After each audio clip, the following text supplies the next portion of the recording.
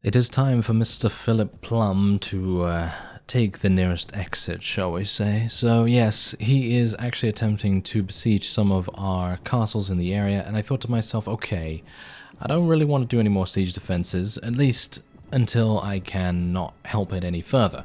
So, what we're going to do is we're going to try and take him out on the fields of battle. Now they have about 100 units right here and we have 170 of my own. I have no one around me right here. I actually have no idea what Dragonstone is doing at this time. I really have no idea because it seems like they're just holding feasts. it feels like they're just holding feasts and that's it. So I'm not entirely sure whether that's just a a way to get morale up, obviously, you know, I mean, in gameplay terms, is it a way to get morale up? Maybe. I don't know. But what I do know is that Dragonstone has not been entirely active in this area, with the exception of a couple of vassals. And I would hope that they are maybe going to show themselves just that little bit more as we go forward, because I really don't want to wage a one-man war against the Westerlands because these guys are from the Westerlands and I've primarily been fighting them off. And by the way, while I was running around in Essos, they took about three of the castles that I took back. Well, technically, we took the we, you know, well, we took it from the Reach, and then they took it from us, and then it was Westerlands, and then they only had about 30 units in each garrison, with the exception of one which had 60, and I was able to take those actually very easily. And there was not there were no no defenders, no nothing, so pretty easy to get those back. But it's the whole point, you know. The whole point is that the Westerlands is very much active in this area, and hopefully we can prevent them from doing so by at least eliminating a couple of them and prevent them from being a little bit too a little bit too active. So I'm going to get off my mount right here because I am so supremely confident in my amazing two-handed Warhammer right here that I will be taking the fight to them in a very personal way. Yes, hello there. You will not surround me, sir. You will not surround me. I have very good mobility, and even if, even if I get surrounded, it's alright because my forces are over to the side there and they're actually doing a fantastic job because you know what they're doing? They're eliminating everything that I'm not eliminating. And that's exactly what we want to see. So let me see if I can maybe just survive here a little bit. I'm actually kind of surprised I haven't taken more damage so far.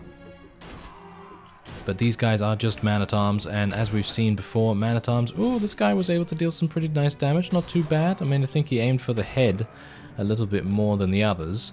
But yeah, anyway, the point is is that we have such great armor, it is really, really hard for enemies to deal any damage to us whatsoever, so it's always a testament to their skill if they're actually able to do something to us. Anyway, as you can see, we should be fine here. It's really just a case of mopping up the rest, but we are quite scattered, which is definitely something I'm not too big a fan of. And uh, yeah, well, we'll see what happens after that. But anyway, the point is, is that my plan for this episode is to try and, well, as I say, eliminate most of the Westerlands vassals in this area because, as I say, they're being quite a nuisance.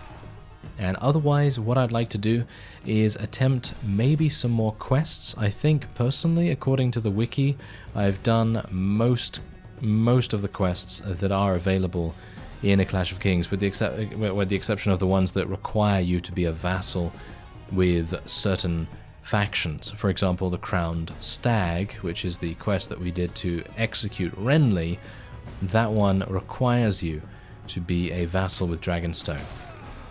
So obviously, that is, uh, you know, that's a thing. You know, that is a thing. And uh, if only I had not done that other quest, though. If only I had not done that other quest where the Westerlands now has control over basically the entirety of the North with the exception of a few fiefs, because that would have it would have been much better. It would have been much better for us in the long run if that had been not done. But it was a pretty interesting quest, and I actually liked doing it. It was very enjoyable. So, yeah, you know.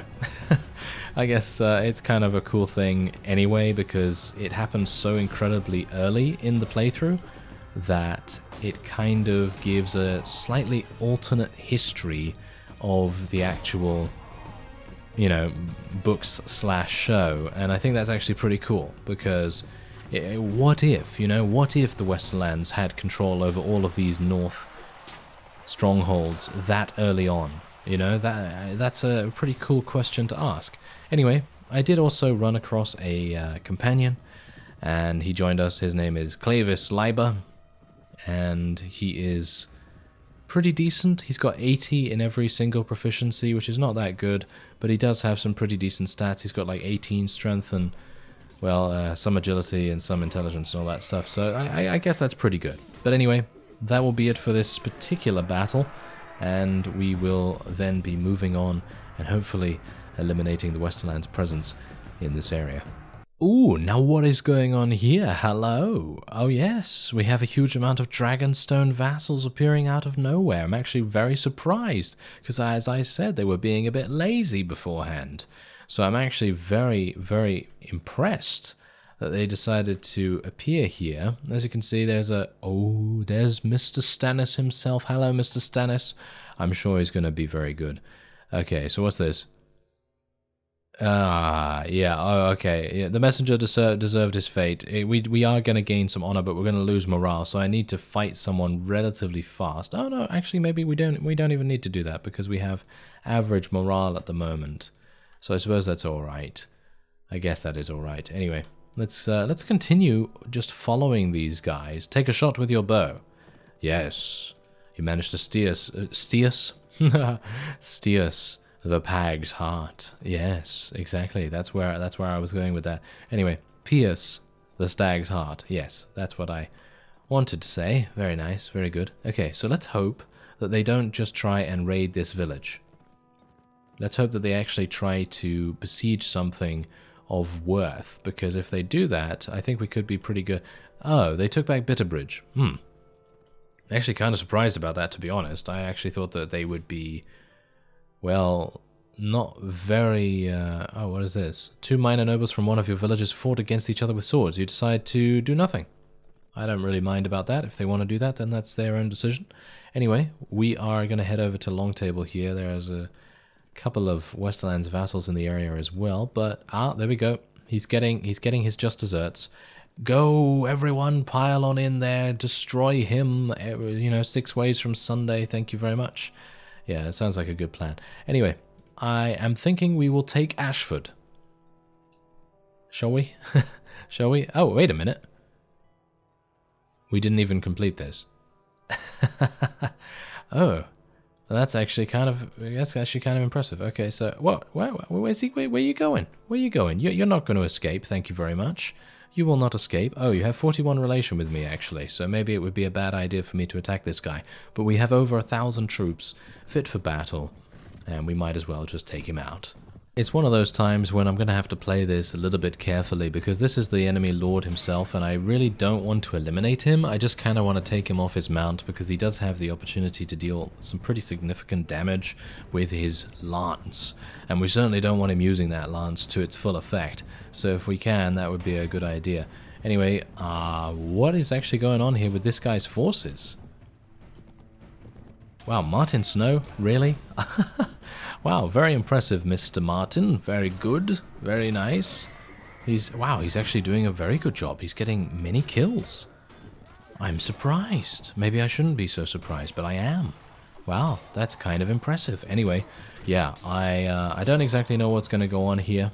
I know that uh, obviously we're going to win, but the main reason why I'm a bit confused is because dismounted Reachman Squires? Why does he have those? That, uh, that must... Um, do they level up into unique units? They might level up into unique units because we've had a bit of a discussion in the comments over the past couple of episodes about why there aren't any unique units for recruitment.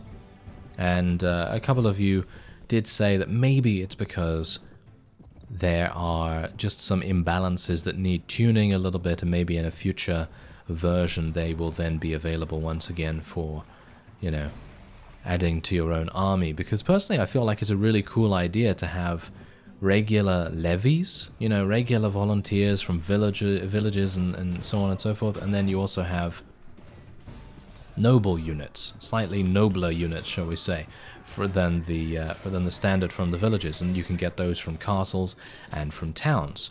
I think that's a really cool idea, and uh, I'm a bit disappointed that it's been removed in this latest version. But I, I suppose I understand why it might be because obviously they might be a bit too powerful. So, for example, if someone is going to get super super rich by uh, you know just doing a, hu huge amount of business, investing in uh, weavery and dye works, iron works and so on, and putting some money in the iron bank as well. Because I know for sure that if I maybe had become maybe a mercenary to begin with, and just used my money and and you know my opportunistic nature and, and various other situations to my advantage, then maybe I would have been able to invest in many more businesses and I wouldn't have had too many too many money troubles, so to speak. But uh, well, that's just how it went, and uh, maybe then you know I would have been able to recruit a huge amount of unique units if they still had the unique units in, in here. But anyway, I'm going to just spread everyone out. And is that Stannis there? There he is.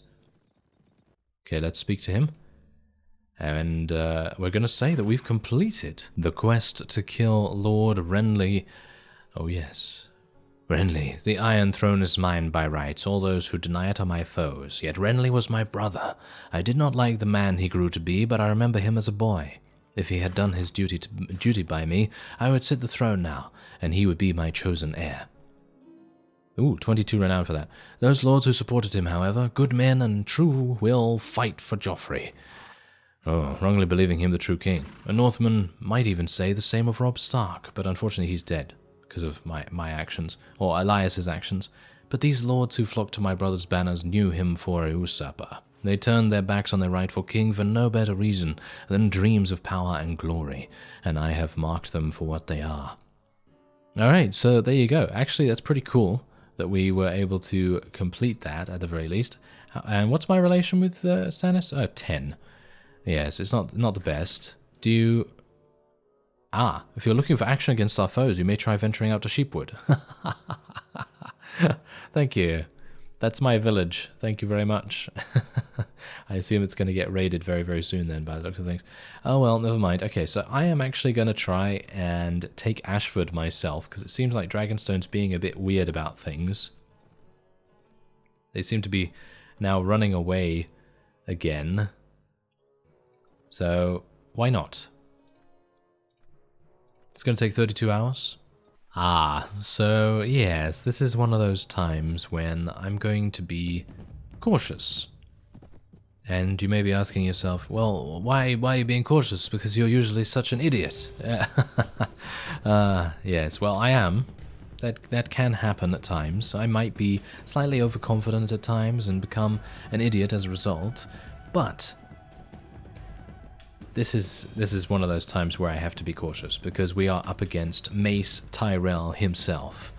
And that is not very good because he has well, a lot of units, and there are over 380 against us right here. And actually, hmm, putting my units into shield wall formation is not going to do anything because these guys don't have shields. So I, I guess it is going to be okay because they're in a pretty reasonable formation. But you can see here that we have how many archers? Literally like two? Yeah, we've got two. Okay, that's fantastic. Very nice. Okay, uh, Mace, uh, if you wouldn't mind, could you just charge? could you just charge over here? I'd very much appreciate it. Seems like he's being a bit... Hmm. A bit cautious himself, I guess but uh, that's that's not really good. That's not really good. I don't know why he's doing this. Ah, I now see. There's a river. There is a river. And wow, there's actually a lot of debris in the river as well, in the form of rocks and, and so on. So that's... Wow, this is, this is actually kind of harsh. This is actually kind of harsh. Well, if they do charge at us with their cavalry, I do have a number of halberdiers and various other units that should be capable of countering them relatively easily, but we'll see. What is he deciding to do? He is he is he actually going to go into the river? If he actually decides to go into the river now, that could be kind of good, but it also could be kind of bad. Okay, so I've now told my units to attack the enemy cavalry. Oh yeah, it, I think that someone actually asked in the comments how to do this, how to do the you know specific attacking thing. So basically what happens is if you select a particular unit, I think this can actually work with all of your units at the same time. So if you want to, you can do that. But personally, I, I feel like it's better to just do it with individual groups, so infantry, archers, and so on and so forth. Usually not a good idea to do it with archers though, because they will generally tend to go closer to the enemy than you'd like. But anyway, how you do it is you just select that unit and then you press F1, you hold F1, which is the default key for bringing the flag up. So you hold F1, and then you put your flag next to that particular enemy force. And whichever one has the, uh, whichever troop type is the most in that area or the, the closest to your flag is what type your units will then attack. So in this case, it is cavalry, and it seems like they're not actually doing that anymore because they have run away. I have no idea what Mace Tyrell is doing right now. I think that he is... Is he drunk? Is he drunk? I, I don't know. I, I would hope not. Alright, so it looks to me like I am going to have to charge my forces in. I actually wanted to keep them in formation, but it seems like that is basically the only thing I can do.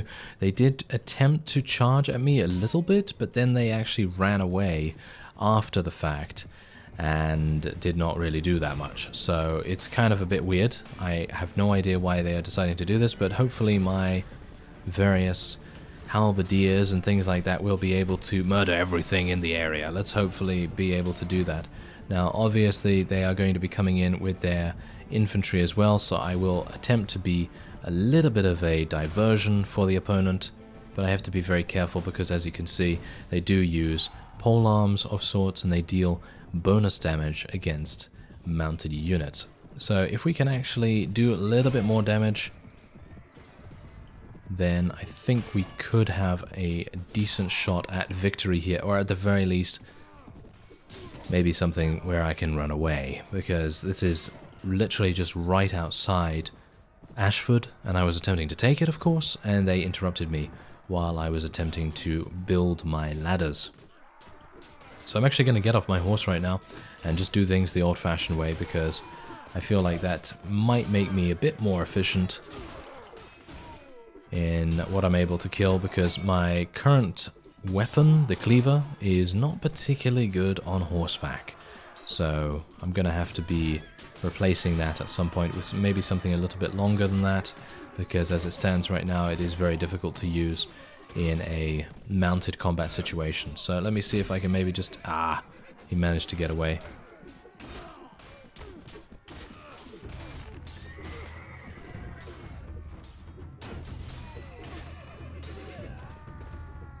I'm actually kind of surprised that we're able to win the day here with so many lances coming into us right there, but I suppose that is actually it, because we did have a huge amount of lances, and if the Lancers don't deal enough damage to kill, then uh, they're they're basically useless, you know? They're basically useless because at that point they are within such close proximity to us and indeed our units, then they can't really do that much.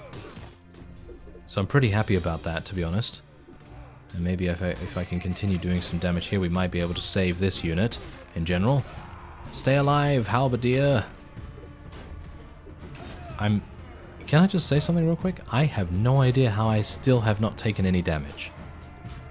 I'm, I'm literally running around in the enemy's lines and I have literally not taken... I've taken some damage now, but because they are all polearm users and people with not exactly great power strike, it is making things very easy for me so far. Wow. I am very surprised. Okay, come on, guys. Let's do this. I, I, I, think I've charged everyone in, haven't I?